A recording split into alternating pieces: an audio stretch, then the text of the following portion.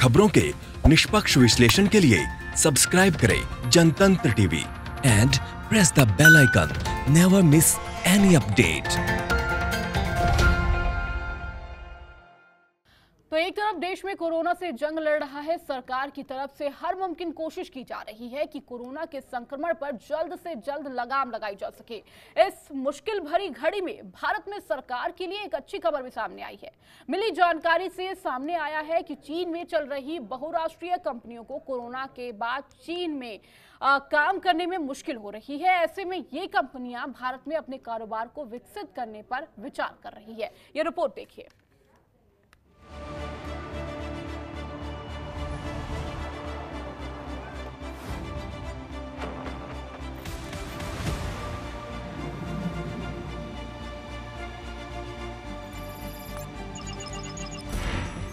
Corona संकट के बीच भारत के लिए बेहद अच्छी खबर।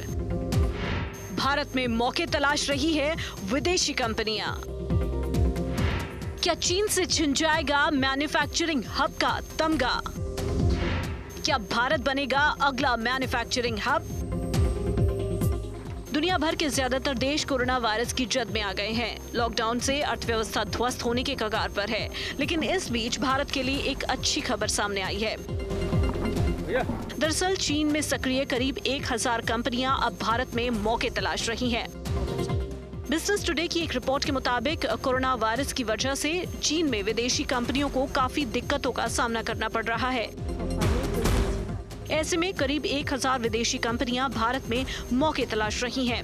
इनमें से करीब 300 कंपनियाँ ऐसी हैं जो भारत में फैक्ट्री लगाने के लिए पूरी तरह से मन बना चुकी हैं और साथ ही सरकार के अधिकारियों से इस बारे में बातचीत भी शुरू कर दी है बिज़नेस टुडे से बातचीत में केंद्र सरकार के एक अधिकारी ने जानकारी दी कि मौजूदा समय में लगभग 1000 कंपनियाँ अलग अलग स्तरों पर बातचीत कर रही हैं। इन कंपनियों में से 300 कंपनियों को चुना गया है केंद्र सरकार के अधिकारी के मुताबिक, कोरोना वायरस के नियंत्रण में आने के बाद स्थिति भारत के लिए बेहतर होगी और भारत वैकल्पिक मैन्युफैक्चरिंग हब के रूप में उभर कर सामने आएगा चुनी गई 300 कंपनियाँ mobile electronics medical devices, textiles और सिंथेटिक फैब्रिक्स के क्षेत्र में सक्रिय हैं और अब भारत में आना चाहती हैं। अगर सरकार की तरफ़ से पॉजिटिव रिस्पांस मिला तो ये चीन के लिए एक बड़ा झटका साबित होगा इसके साथ ही चीन के हाथों से मैन्युफैक्चरिंग हब का तमगा छिन जाने का खतरा भी मंडराने लगा है मोदी सरकार लगातार विदेशी निवेशकों को लुभाने में जुटी है। इसके लिए सरकार की तरफ़ से कई बड़े ऐलान भी किए गए। बीते साल कॉरपोरेट टैक्स को घटाकर पच्चीस दशमलव एक सात फ़ीसदी कर दिया गया था। वहीं नई फैक्ट्री लगाने वालों के लिए ये टैक्स घटाकर सत्रह फ़ीसदी करने का फैसला सरकार की तरफ़ से लिया गया। ये टैक्स दक्षिण पूर्व एशिया में सबसे कम है। यही नहीं सरकार ने एमएटी यानी कि मिनिमम ऑल्टरनेट टैक्स में भी राहत दी है। कंपनियाँ अब 18.5 फ़ीसदी की बजाय 15 फ़ीसदी की दर से मैट चुकाती हैं। जानकारी दे दें कि मैट उन कंपनियों पर लगाया जाता है जो मुनाफा तो कमाती हैं लेकिन रियायतों की वजह से इन पर टैक्स की देनदारी कम होती है। ऐसे में अगर चीन से निकलकर ये एक हज़ार विदेशी कंपनियाँ भारत में सेटअप करती हैं, तो भारत को इसका काफ़ी फ़ायदा होगा। बिज़नेस डेस्क जनतंत्र टीवी वही अमेरिकी सोशल मीडिया कंपनी फेसबुक अपने विस्तार पर तेज़ी से काम कर रही है और इसी के तहत फेसबुक और रिलायंस जियो के बीच बड़ी डील हुई है। फेसबुक ने मुकेश अंबानी की कंपनी रिलायंस इंडस्ट्री लिमिटेड के डिजिटल ऑपरेशन रिलायंस जियो में तिरालीस हज़ार करोड़ रुपए से ज़्यादा का निवेश किया है। दोनों कंपनियों के बीच करार से भारत को क्या फ़ायदा होगा? इस रिपोर्ट में आपको दिखाते हैं।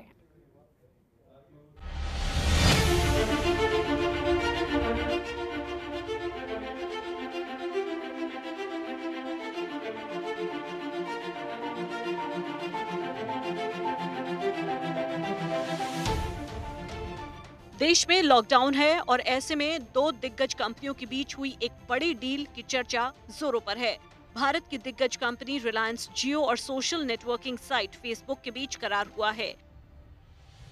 डील के तहत फेसबुक ने रिलायंस जियो में तिरालीस हज़ार करोड़ से ज़्यादा के निवेश का फैसला किया है। डील के बाद फेसबुक की रिलायंस जियो में करीब 10 फ़ीसदी हिस्सेदारी हो जाएगी और फेसबुक रिलायंस जियो का सबसे बड़ा शेयर होल्डर बन जाएगा।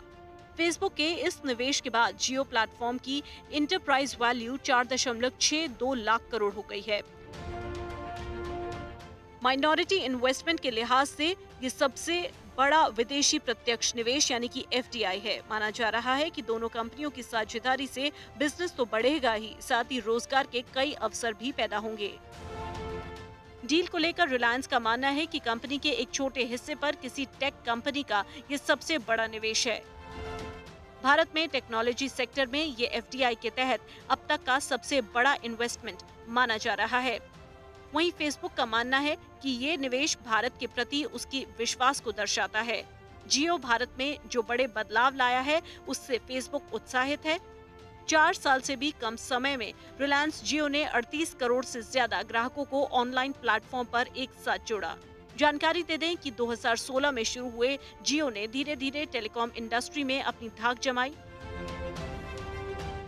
टेलीकॉम और ब्रॉडबैंड से लेकर ई कॉमर्स में इसने अपना विस्तार किया और 38 करोड़ ग्राहकों तक अपनी पहुँच बनाई।